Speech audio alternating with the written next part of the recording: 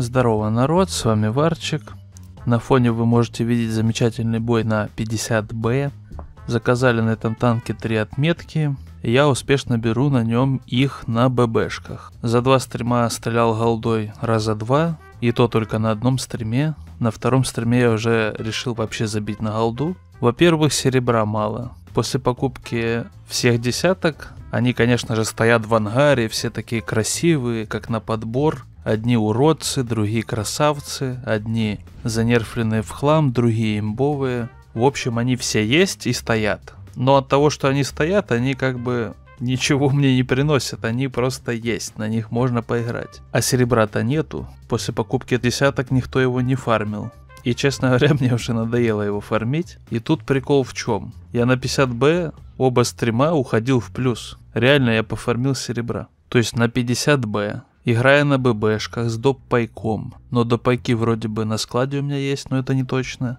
И просто с прем-аккаунтом, а если еще и клановые резервы подрубаются, вполне себе неплохо уходишь в плюс. Но все же в рандоме играют на фул голде. Ты что, дурак на ББшках играть? ББшками же невозможно ничего пробить, казалось бы. Но вот на фоне бой, 9000 урона, и все набито ББшками. Да, в бою есть девятки. Да, в бою есть восьмерки. Но я первый стрим отыграл со средухой 3700. При том, что там почти весь стрим, каждый бой было 3 арты. Куча ЛТ, ПТ, короче, баланс на высшем уровне. Тяжей вообще почти не было. Дай бог их было 3 на одну команду. Но вот второй стрим и этот бой со второго стрима, я сыграл 10 боев со средухой 5100 и не стрелял голдой ни разу. Ушел в плюс, выполнил там какое-то ЛБЗ с отличием на 279 ранний, за что получил там боны и еще какой-то мусор. Я, в принципе, уже вообще почти все ЛБЗ доделал с отличием. Потихоньку их в целом доделаю, потому что там неплохие награды. Так-то в целом ЛБЗ все пройдены, но не все с отличием. Что получается? Во-первых, у 50Б очень точное орудие. Хорошее сведение – это барабан, и его стиль игры в чем? Подлавливаешь врага в удобной для тебя ситуации и неудобной для врага, и раздаешь барабан. Барабан на 4 снаряда раздается не особо долго, точность пробития сведения все хорошо, к слову, основной снаряд ББшка, что мне очень сильно нравится. И процент попадания и пробития в целом очень высокий, при том, что голдой я не стреляю. Постоянно этот процент, что пробитие, что попадание, около 90%. И это крайне хорошо, если сравнивать с обычной моей стрельбой на других танках, поскольку там обычно около 80. Вот у нас получается что? Во-первых, на ББшках снаряды не особо дорогие. Во-вторых, очень часто попадаю, очень часто пробиваю. Соответственно, очень мало снарядов, которые улетают в никуда, очень маленький процент впустую потраченных выстрелов, соответственно, впустую потраченного серебра. Получается какой-то танк для фарма, что ли. 50Б, вполне себе неплохой прям танк 10 уровня, который просто уходит по чуть-чуть в плюс. Если не нужно платить за топ-паек, у вас есть прем аккаунт, и у вас 90% попадания и пробития. Минуточку, какие 90%? Ведь в рандоме же, дай бог, там у кого-то 60. Вряд ли рандомные кубаноиды смогут попадать так часто. Они же привыкли в прыжке с крыши на лету стрелять в силуэт просто в направлении куда-то там во врага. Но что больше всего меня напрягает, даже, наверное, не так, как в 50Б, что меня напрягает в 50Б, я думаю, после трех отметок я вам расскажу. А в этом видео я хочу вам рассказать, что меня напрягает в принципе на 10 уровне.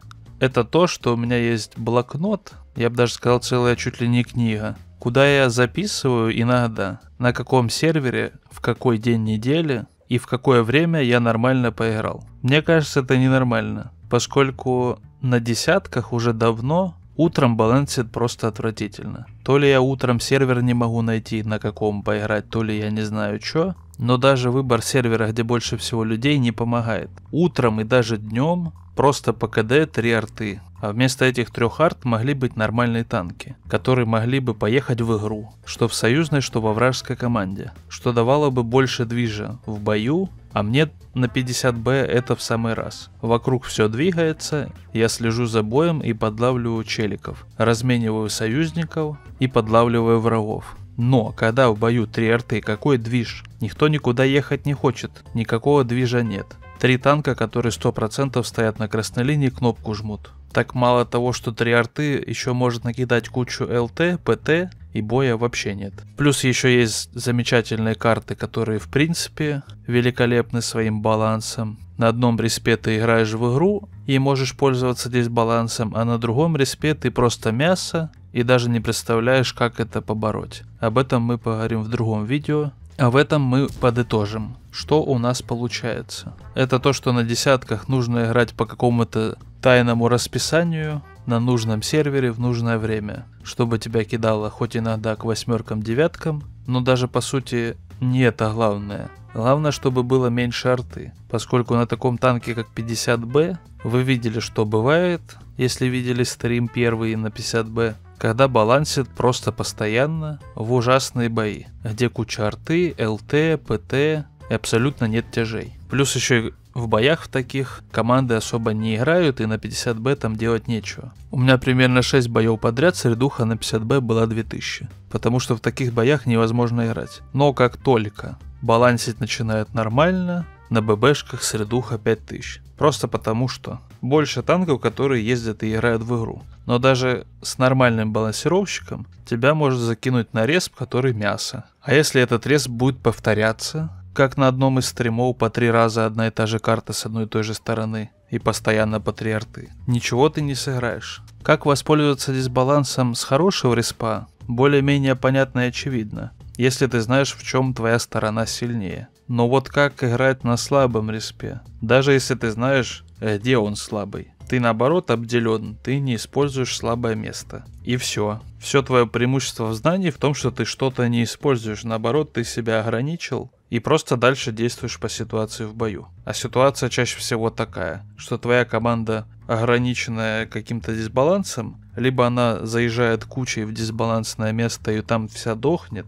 либо куда-то не едет и зажимается на ограниченном пространстве, и ее там съедают. Так обычно всегда и происходит. Но как ни странно, все эти дисбалансы последнее время я замечаю, как благодаря им я набиваю кучу циферок когда беру отметки, что на ЛТшке 10 уровня, когда я брал 3 отметки, такой дисбаланс мне очень сильно помогал на некоторых картах. Что на 50Б, вот я сейчас беру 3 отметки, в одном бою у меня получилось набить 10 тысяч сумарки, урона плюс засвета. Только потому, что у меня респ был сильнее. В такие моменты, конечно, весело. Ага, бесплатно 10 тысяч в отметку. А с другой стороны, когда ты попадаешь сразу же прям на респе, как только ты видишь эту карту, уже жопа горит. И проблема даже не в том, что респ слабый, а в том, что ты ничего с этим не можешь сделать и просто как терпила, сидишь, терпишь, когда бой закончится. Самое неприятное ощущение, которое иногда появляется в этой игре. Первое, это когда ты на слабом респе и у тебя просто нет шансов. А второе, это когда на десятом левеле балансит просто говняные бои. В общем, это все вещи, которые я хотел вам рассказать. Может быть, будут еще десятки, на которых я буду брать три отметки на ББшках. Но 50Б просто подходит по стилю игры. На нем именно нужно выставляться в тот момент, когда тебе удобно, а врагу нет. А когда врагу неудобно, то в принципе ты и без голды его будешь пробивать. Тебе на 50Б не нужно на первой линии на кинжалах сражаться с врагами. Поэтому на нем и получается на ББшках набивать много урона. Но было бы весело на ББшках брать отметки на десятках. Но некоторые танки не смогут без голды выполнять свой геймплей. Даже не знаю, как назвать этот видос, Кровавое месиво из последних мыслей про игру World of Tanks. С вами был Варчик, играйте красиво. Всем пока, подписывайтесь.